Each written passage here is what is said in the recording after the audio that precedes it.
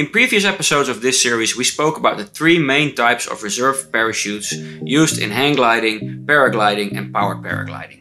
We also spoke about the myths that are related to these parachutes. In this episode, we are going to talk about frequently asked questions and general tips in using and buying these reserve chutes. Let's go!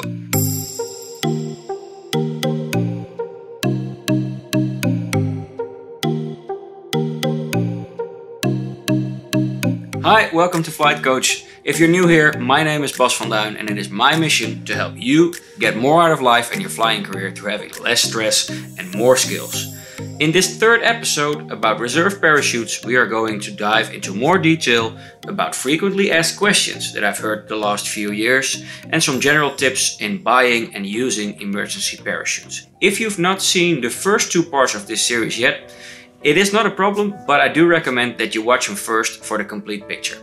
So, let's first start off with the frequently asked questions. These are questions that have come to me in different forms. These have been asked by students that I've taught how to fly in the past few years. I've also worked for a large reseller, sold a lot of emergency parachutes and of course got a lot of questions from consumers on that front as well. And third, but not least, there have also been a lot of questions and discussions on the internet. And let's also have a look at the general tips I can give you guys for buying and using a reserve parachute. Can I use a skydiving parachute? No. Skydiving parachutes are made to open in a delayed fashion. They're intentionally made to open slowly to be able to absorb the huge forces that are exerted on them. That is very different from a hang gliding, paragliding or paramotoring chute, which expect that you're not in free fall you're at least partially supported by your glider, which is somewhere flapping around you. Can a paraglider use a hang glider parachute? In general, no. This has to do with the weight range. A hang glider usually weighs around 30 kilograms, or even heavier. If you have the same kind of body weight as a hang glider pilot and you decide to bring your hang gliding parachute onto your paraglider, it is very likely that your emergency chute is way too big. And this may cause instability issues and it may also cause you to have such a low descent rate that you actually get picked up by thermals. It's not a good thing. I do think that there are some situations imaginable in which it is possible to take it over. I actually flew with my hang gliding parachute for a while while I was paragliding, but it's very important to check weight range and to also check the bridle length. When should I fly with a steerable reserve? Yeah, that's, that's quite a difficult question. Flying with a steerable reserve, as we discussed in the previous video, uh, has a few downsides. You need to do a few things actively as a pilot to be able to use all the benefits it provides and to even be able to use it safely. The last one may be the most important point. If you throw your reserve and it is a round one or a square one, um, you're usually okay with just doing nothing after that. Of course it is better to stall your glider and to pull it in, but in general it is not a huge problem if you don't or if you are unable to do it. Which of course is also very understandable. Throwing your reserve is not nothing. It can be quite a terrifying experience. Now imagine having to take a few extra steps to ensure your safety.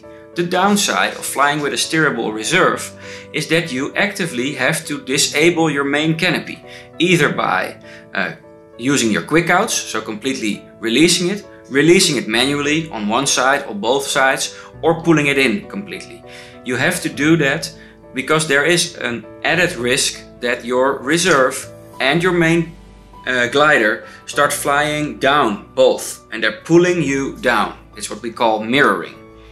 And there's also an added possible danger of what we call downplaning, in which the main starts pulling you down and the other one flies behind it. So when can you use this steerable parachute? Well, if you feel confident and if you know yourself well enough that in an extremely high adrenaline situation, which is occurring when you throw your emergency parachute, you are still able to keep a cool head and do all these extra steps needed to safely use a steerable parachute. How can I save money on an emergency parachute? Well, let's first say that I think stupid questions do not exist, only stupid answers. Um, but this question, it comes quite close to being a stupid question actually. I believe that you should never try to save money on things that could save your life. Look at it from this perspective. Generally, an emergency parachute will last you 10 years. Even if you buy the most expensive model there is, it is still a very small amount you pay per month to be flying with a backup that can save your life one day. Another way to look at it would be comparing the cost of an emergency parachute to the cost of a funeral. In most countries, a funeral is way more expensive than even the most expensive emergency parachute. And let's not forget that funerals have a lot of other downsides too. Now let's say that you still really, really, really want to save money. Don't be like those people that buy a second or third hand reserve from an unknown seller somewhere on the other side of the world that sells this one really cheap because it has only been used in two crashes and there are just some minor tears or a parachute which has been laying on a shelf for 11 years, so it still is perfectly okay to use. And there are many more stories of reasons why people sell reserves with a huge discount. Don't fall for these things. If you really want to save money on your parachute, I can recommend you ask your local club or school that sells you the equipment to ask for a combination deal. Usually, if you buy a complete set, there are some quite nice discounts available. Just ask for them. And another thing you can do, and this is I think only interesting if your reseller is actually quite small. If you buy reserves in packages of 3 or 5 or 10, most manufacturers have bulk discounts. Of course, these manufacturers won't sell to you directly, but they will sell to your retailer. It's possible that your normal reseller only buys them one at a time, but that if you come with let's say two mates and you go to this reseller and you say all the three of us want to buy the exact same model, he or she can get you a nice discount because he or she gets a discount from the manufacturer. Now one that I see a lot with beginners, it's usually not a question, it's usually just something they do. Can I sit on my reserve? Well, there are two answers to this. Uh, technically, you can, because it feels quite comfortable when you're sitting on the hill waiting for a good moment to take off. Um, but from a safety perspective, it is a very, very, very bad idea to sit on your reserve.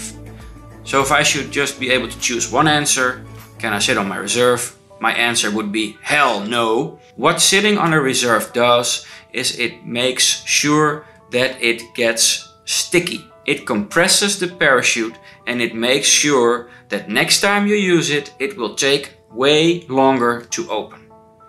Don't sit on your parachute.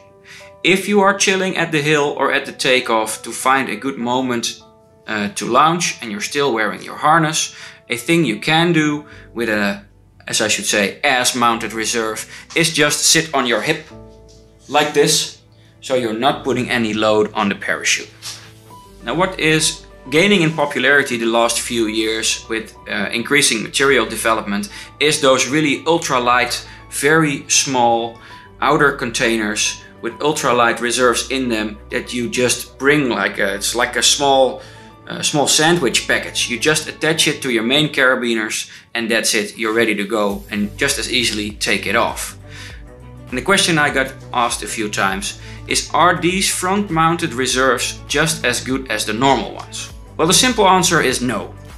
In general these are designed to be lightweight, to be very small. And of course they still have to meet the certification criteria, so they cannot exceed a certain uh, descent speed because that will hurt you. But in general, when you're making things lightweight and as small as possible, people tend to look for the margins. And of course they have to do certain things to make them this light. This generally does not do their performance a lot of good. An important thing to note when using these reserves, and this goes for all front mounted reserves, is I highly recommend that you do not just connect them to the main carabiners, but that you use extra connections so that when you have a carabiner failure, as discussed earlier, You can use soft links for that to attach them to the main webbing where the carabiners are also attached. So when the carabiners fail, you are still connected to your harness.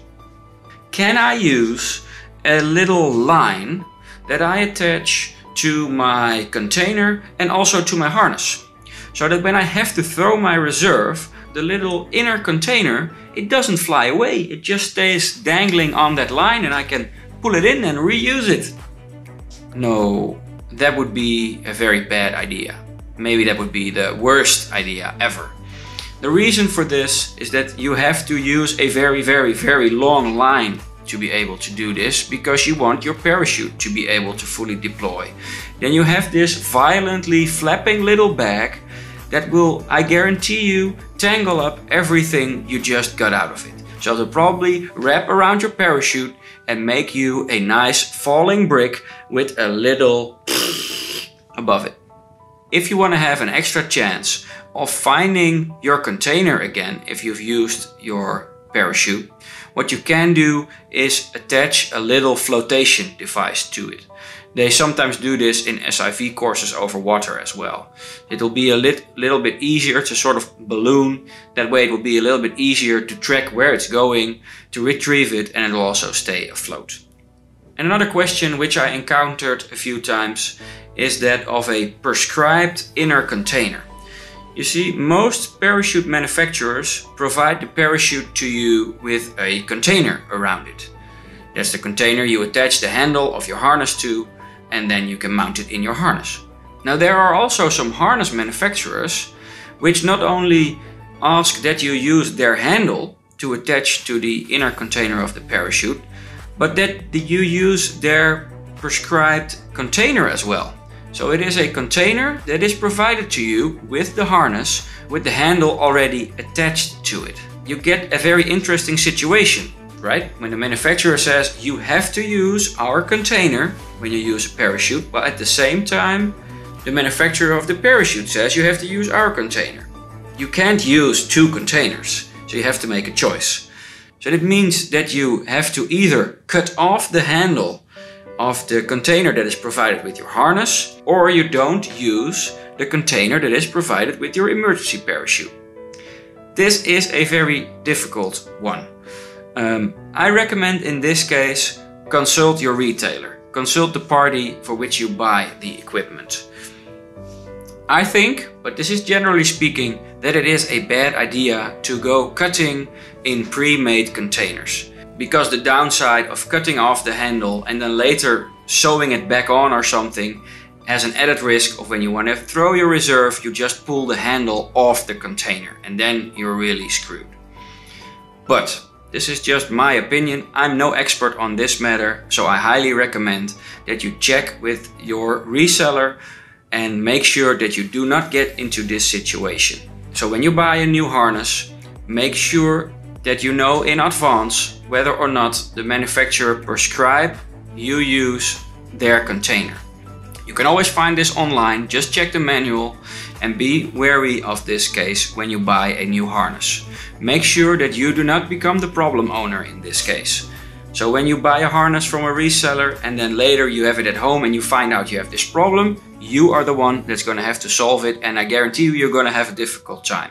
If you know this in advance, you can make it the problem of the reseller and tell them, my manufacturer says that this container has to be around my reserve, while at the same time the harness you're trying to sell me also comes with a container with a handle attached to it. Please tell me how you're to help me solve that.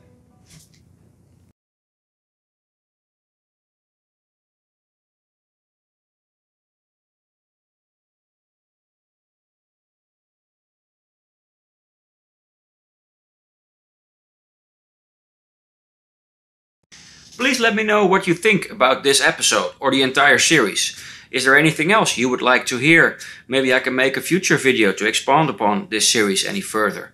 Would love to hear from you in the comments down below. If you like the content that I'm making, please consider pressing that like button and subscribe to the channel. Don't forget to press the bell icon so you get notified when I release a new episode. Now you see two videos over here. The one at the top is one that I think you should watch. I selected it especially for you. And the one at the bottom is one that the YouTube algorithm selected for you based on your viewing preferences. See you next time. See you in the air.